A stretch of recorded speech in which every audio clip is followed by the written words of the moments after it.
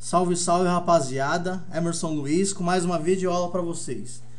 Bom galera, nessa videoaula aí vou mostrar para vocês como que a gente faz para estar tá instalando o Linux Debian em uma máquina virtual. A máquina virtual é só para vocês verem a videoaula, ok? Porque vocês têm que fazer isso no seu computador. Então eu recomendo que o seu computador esteja funcionando belezinha. Não é legal, assim ó, para vocês que, tipo, pessoal que não entende muito, não é legal você deixar o computador com duas placas de rede tá? Porque às vezes pode confundir, mas se você já entende aí, consegue é, ver qual que é a diferença das placas de rede que está no seu computador, beleza. Uma onboard ou offboard, tranquilo. Eu vou usar aqui esse, esse aplicativo aqui, que eu uso bastante, é o VirtualBox. Eu já tenho até um Windows 2003 Server instalado aqui, que é ambiente de estudo. É, eu vou criar uma máquina virtual aqui nesse vídeo, para mim poder receber a instalação do Debian, beleza? Então vou vir aqui em nova. É, próximo, vou colocar aqui Linux. Linux Debian.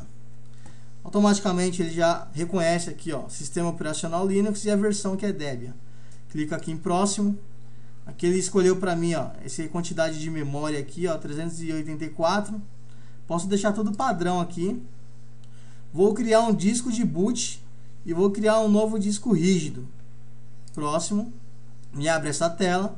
Vou deixar essa primeira opção marcada, VirtualBox Disk Image.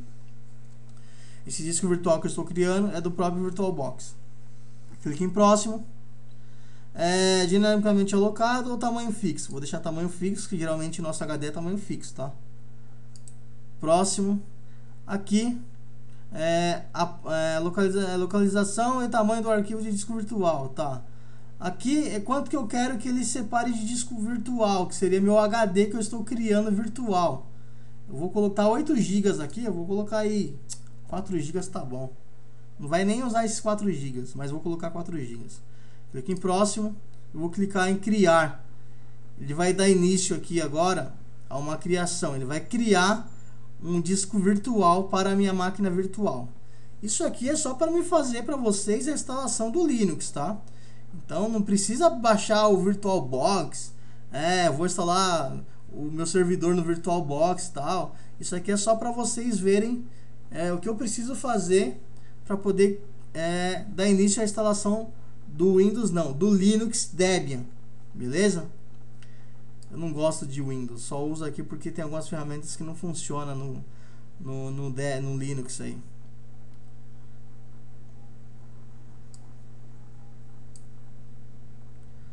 Bom, tá criando aqui ainda, falta aí 10 segundos para poder criar o meu disco virtual.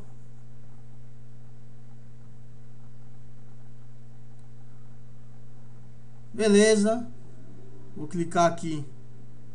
Vou fechar, vou cancelar essa parte aqui. Se eu clicar em criar de novo, vamos ver o que acontece. Ah, beleza. Já apareceu aqui, não precisa nem fechar ali. Apareceu aqui, ó, Linux Debian.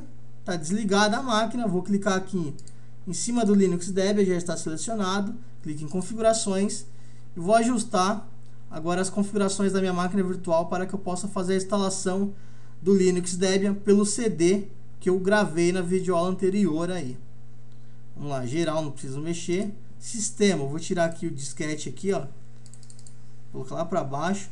Vou deixar o boot, ordem de boot, pelo CD-ROM ou DVD-ROM, beleza? Monitor, não preciso mexer. Armazenamento.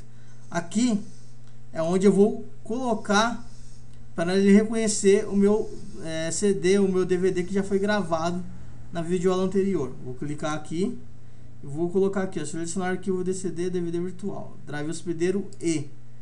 O drive que está aqui no meu computador seria aqui, ó, drive E. Então, beleza, já está aqui o drive E. Belezinha. Deixa eu ver mais alguma coisa. Não preciso. Isso aqui mesmo. É, áudio. Se eu quiser desabilitar, beleza. Se não quiser, não faz diferença nenhuma, porque a instalação vai ser é, modo texto, bem simples a instalação. Rede. Aqui é uma coisa aqui que eu tenho que deixar certinho, é que ele vai ser uma placa em bridge, tá? Em bridge, só para ele receber endereço IP da minha conexão do meu roteador aqui. Caso, no seu caso aí, no seu sistema MikroTik, tá? Porta serial, USB, não preciso, está habilitada, mas não tem necessidade de compartilhamento. Beleza, é isso daqui. Clique em OK. Beleza, minha máquina virtual já está criada. Agora eu vou finalizar essa videoaula, por quê? Porque na próxima videoaula eu vou dar início à instalação do Debian, ok? Valeu pessoal, até o próximo vídeo.